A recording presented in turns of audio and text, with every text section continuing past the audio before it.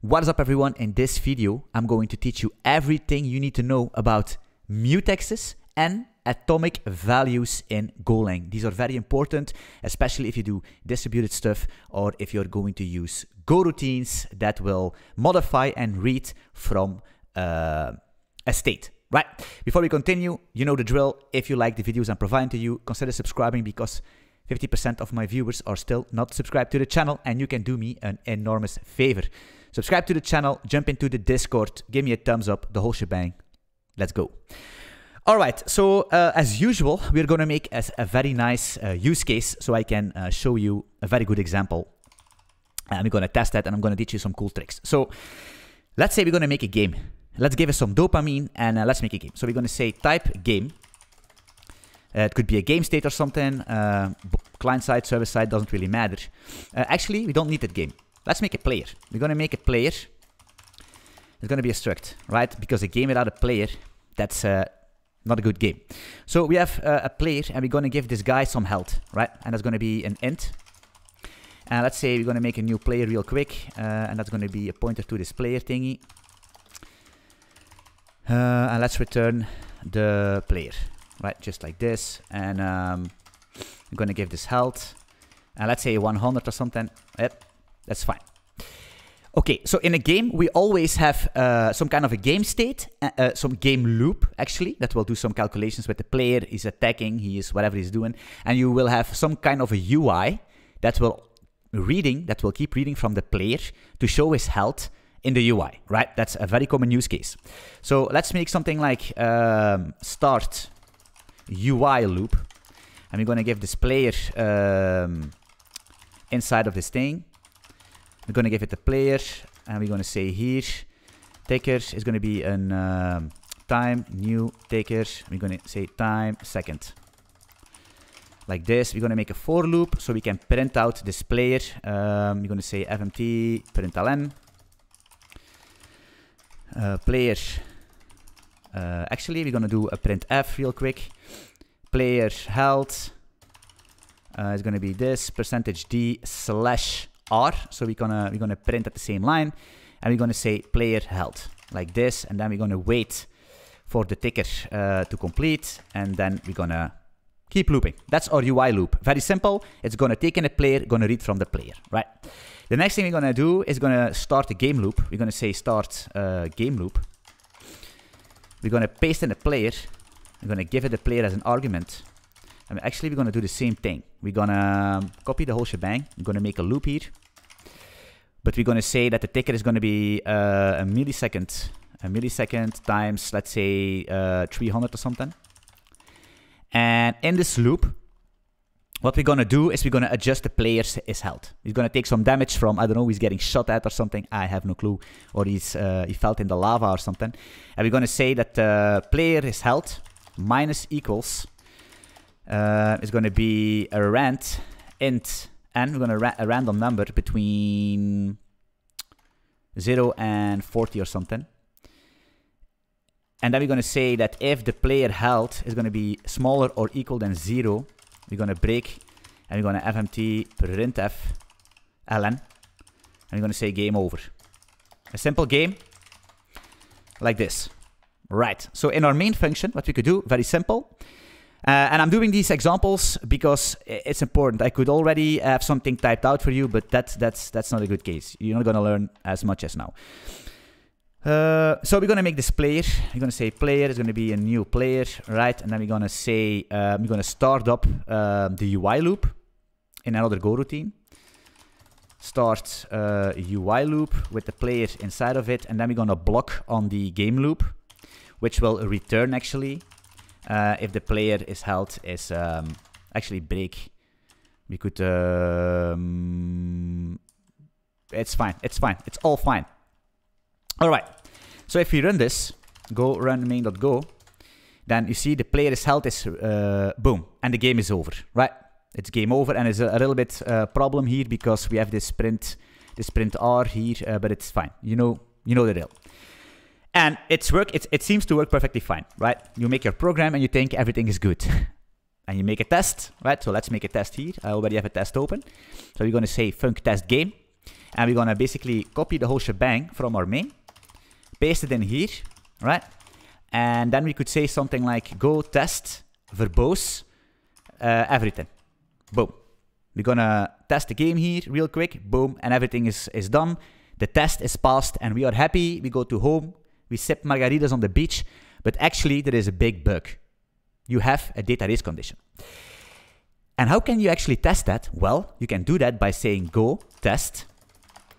Uh, you could the whole shebang, and then you could do dash dash race and press enter. So it's testing everything, and then you see test failed. Why? Because we have a data race. If you specify dash dash race at the end of your test, Golang, the Go compiler, will spin up uh, a race detector that can actually track most of the time very well if you have data race conditions in your program.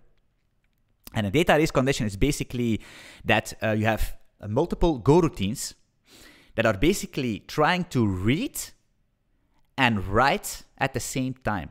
Somebody is reading and somebody is writing. So that basically means that there could be a possibility, it's not always the case. It's not always the case, but most of the time it will look perfectly fine. But there is a possibility that you will have inconsistent behavior because the player health is 33. You're gonna read it, but actually it's you see what they are not synchronized, and it could be that you will have a wrong value. So the player could already be dead or not dead, whilst he needs to be dead, if you know what I mean. So very hard to track. So very important to always test these things with a race with a race detector. Okay, so now you're gonna fix that, right? Uh, how do we fix that? Well, there are two possibilities because I'm gonna teach you everything about mutexes and atomic values. Let's let's start with a mutex.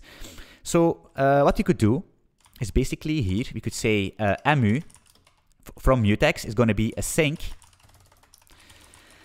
WR mutex, and that's basically uh, WR RW mutex. It's a read-write mutex, so we can uh, basically lock for reading and lock for writing at a different time, uh, which is more optimized than just lock everything uh, for writing and reading. So we have a mutex here. So what we're gonna do here we are reading from the state, right? We are not updating the state in this UI loop. The UI is reading from the state. So we're going to say player mu rlock. And here we're going to say player mutex um, r unlock, right? That's fine. So you lock it before and you'll unlock it after. You could also use a defer, but uh, we're not going to do that because we're in a loop. Um, yes, then our game loop. What are we doing here? Well, here we are actually adjusting the state. And here we are reading from the state. So what we could do, we're gonna basically lock the whole shebang. So we're gonna say player mu. We're gonna lock because we're gonna read and write. So we're gonna lock. We're not only gonna gonna read, we're gonna write also. So we're gonna lock this thing. And after we are done here, we are gonna say um, player mutex unlock. Just like that. And now we are actually protected. So let's uh, test this real quick. So we're to test with the race condition flag. And you see, the test is passing. So what is a mutex? A mutex is basically a synchronization way, a synchronization utility. Uh, let's say you have a couple of Go routines and they are all waiting they are all want to access and and and and they want to access read or write something the same variable from a state right so how are you going to determine who's going to be first and who's need to wait well that's what the mutex is going to do you can you can think of it like somebody has a flag there is a pie a beautiful delicious pie in the middle and there are 10 people in the line and they all want to eat from the pie that's a problem right so you need to synchronize and you can give them a red flag and only the guy with the red flag can eat from the pie. And when he is done, he can give his flag to the other guy.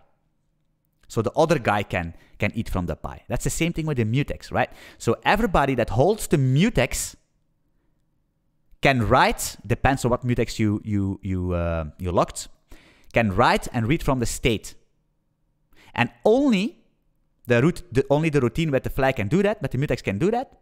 And when it's done reading or writing, it will give the flag to another Go routine. And that's the next in the line that can read and write from that state. That's what a mutex is doing. It's a synchronization way. So you are 100% guaranteed that the, that the, the reading and writing is happening synchronized with a synergy, so there is no inconsistent behavior, right? Cool. And uh, you could also refactor this a little bit, right? Instead of uh, doing it dirty like we did, we could say func, for example, p player um, get health or something, which is going to return an integer, and we're going to say here uh, player mu get is basically read, so we're going to say r lock, and then we're going to say defer. Here we can do defer p mu uh, r unlock, right? And then we're going to say return uh, p health, just like that, and then we're going to make another function. It's going to be player uh, take damage or something, take damage, uh, value int I'm going to say pmu uh, lock because we're going to adjust the state. We're going to defer it also here, and it's going to be an uh, unlock. And then we're going to say player health minus equals is the value, just like that. And then uh, instead of doing these crazy locks here, we could just make it simple, nice and clean. I'm going to say get health. And then here uh, it's a little bit different. Let's delete the mutexes. First of all, we're going to say player take damage, right? And it's going to be this rand thingy. And then here we're going to say fp get health. Uh, and that should actually be the same thing. Let's test it real quick. So a little bit of, um, yes, a little bit of, of a cleanup, right? So this is basically mutexes, right? Very important to understand. Always use them. Always think about a use case that, that could that that could be possible each time you think there are multiple Go routines access, accessing, reading, writing from a state as the same state variable, think about a mutex, test it with Go with the test uh, dash dash race, race flag. Okay, the next thing are atomic values. And um, let's refactor this. Let's delete the mutexes, delete, delete, delete, delete here. So no, there are no mutexes anymore. So if we test again, we're going to see, boom, race condition detected, right? Pro problem. How are we going to fix that? Well, let's use atomic values. So instead of making this health an int, we're going to make it an int32. So uh, if you want to get the health, we're going to basically say, uh, that could be an int, that's no, no problem. We're going to say here, uh, atomic uh, is going to be a load int32. And of course, we need to cast this to an int because uh, this is an int32, but we are going to return ints for user friendliness. So we need to cast this int32 to an int. So we're going to load the address, right? The address of player health. That's what we're going to load, right? So an atomic value is basically um, an optimized. It's it's basically it's you atomic basically means that you can do an operation one at a time. Uh, and that's what this this this going to do. It's it's going to make sure that everybody that's going to read that's going to load the int and it's going to store the int that it's going to be in a synchronized way. And it's for some of the use cases much better to use an atomic int, especially for these simple things like a health and all that stuff, uh, because it's going to give you less overhead and, and complexity that comes with a mutex. And if you want to be more precise because, because I'm going to be very careful with what I say um, about these things because the people on Reddit try to pitchfork me and every mistake I make. So uh, if you want to learn more about Atomic Int, you can go to chat uh, GPT GPT-3 chat and it will tell you everything what you need to know. All right, so get health. Uh, take damage is uh, a little bit different. So what we're going to do is first of all, we're going to get the health. It's going to be, I think we could do get health like this, right? So we're going to load this int and then we're going to say um, p atomic store int32 and we're going to store the can we do we're going to store at the address of the player health right? And then we're going to store the result and that's going to be health minus value. And that's going to be a problem because it needs to be an int32 so we're going to say int32 this thing and we don't need to do anything more because we have these nice abstractions about get health and take damage. And I think if everything is fine and we're going to test this with the race condition, it should be fixed. Boom. Yes. So you see, that is basically um, how to use mutexes and atomic values to protect your application from uh, race conditions, inconsistent behavior. Very hard to track. It's gonna work uh, from 80 times of 100. It could be that your application is perfect, but it's the 10 times uh, that's going to be an inconsistent state. And if you're doing very important uh, shenanigans with user balances or, or uh, points or something, uh, yeah, you don't want to have that. So always be careful with that. It's um, the most annoying thing to debug. It's going to take a lot of time. So be aware of that. Right. So that's it. If you have more questions, hey, feel free to jump into my Discord community. Uh, over, I think we are at 600 people already. So uh, if you have questions, jump into the Discord community. Give me a thumbs up. Subscribe to my channel. And I'm looking forward to see you in one of my live streams or future videos. Peace out.